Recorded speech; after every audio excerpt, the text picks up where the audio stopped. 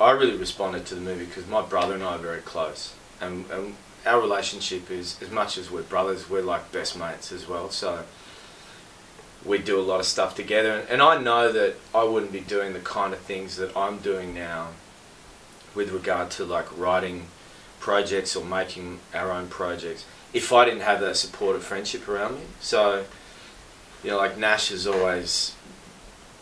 almost like you know he he would almost like bully me into doing stuff, and it was almost by his example of what he could achieve it inspired me to kind of achieve other stuff. And I feel like if I was just on my own, if I was operating on my own, that um, I wouldn't have that kind of draw